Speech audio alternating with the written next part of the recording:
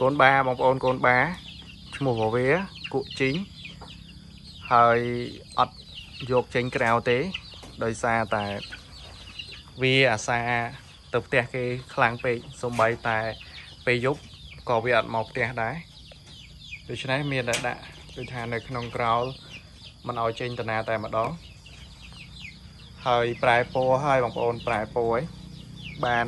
2ខែជាងហើយ សម្រាប់ឈ្មោះនេះ គឺជាឈ្មោះដែលខ្ញុំដាក់ឲ្យបងប្អូនសម្រាប់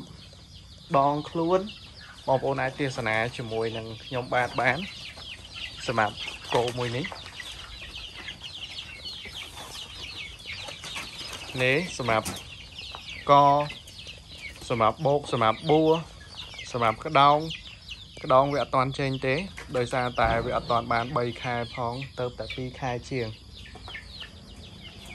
សម្រាប់កម្ពស់របស់វាខ្ញុំអត់ដឹងថា1ម៉ែត្រប៉ុន្មានទេគ្រាន់តែដឹងថា ពេលដែលខ្ញុំឈរទៅ សម្រាប់ពីក្រោយ ស្មើចកេះខ្ញុំហីហើយនេះគូតក្រោយ គូតក្រោយរបស់វាមួយថ្ងៃមួយថ្ងៃវាចង់ទៅចេញក្រៅទេបងប្អូនចង់ទៅចេញក្រៅ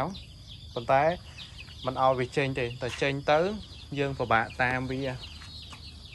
ពេលខ្លះទៅ តាមវារត់ឃើញក៏មានដែរ ក្នុងព្រៃអីក៏វាដេកដែរអាមួយនេះដោយសារតែឈ្មោះវាបងដូចថាឈ្មោះរបស់វាហ្នឹងគឺគក់ជីងសម្រាប់ជើងក្រោយសម្រាប់ដងខ្លួនប្រហែលជា5 6ខែក្តោងវាចេញហើយបងប្អូនសម្រាប់ក្រោមហ្នឹងគឺភាកច្រើនគឺអត់ចេញទេសម្រាប់គោហើយជាធម្មតាបើសិនជាដូចថា វាកាត់តាមមេគឺពណ៌សហើយសម្រាប់បារបស់វាពណ៌ធ្លក់ពណ៌ធ្លក់ឬក៏យើងហៅថាប្រាបងប្អូនហើយឥឡូវយើងមើលយរំទៅរូបរាងរបស់វាទុកឲ្យហើយបើសិនជាដូចថាពេលដែលធំទៅអាចនឹងយើងមើលអត់ស្គាល់ណាយើងមើលពីតូចតូចទុកឲ្យហើយ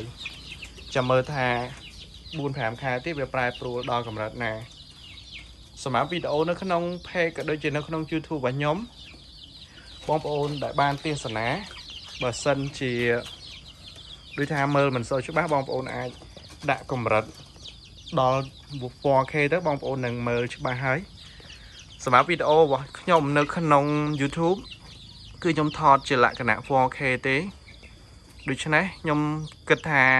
បងប្អូនអាចមើលទៅគឺតិចភ្នែកប៉ុន្តែនៅក្នុង page គឺខ្ញុំអាចផុសបានដល់ 4K ទេដោយសារតែ Facebook វាតម្រូវឲ្យ page របស់ខ្ញុំហ្នឹងផុសបានតែត្រឹម18ទេបងប្អូនដូច្នេះហើយប្រហែលជាមើលនៅក្នុង page អត់សូវច្បាស់ដូចនៅក្នុង YouTube ទេ ហើយបើបងប្អូនបានទេសនានៅលើ YouTube កុំភ្លេច Subscribe Channel ខ្ញុំម្នាក់មួយផងហើយបើនៅលើ Page កុំភ្លេច Follow Page ខ្ញុំម្នាក់មួយដើម្បីទទួលបានវីដេអូថ្មីថ្មីជារៀងរាល់ថ្ងៃតាក់ទងជាមួយនឹងគោ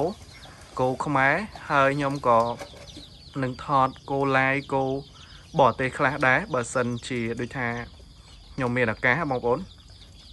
អរគុណច្រើនសម្រាប់ការទេសនាវីដេអូតាំងពីដើមរហូតដល់ចប់បងប្អូន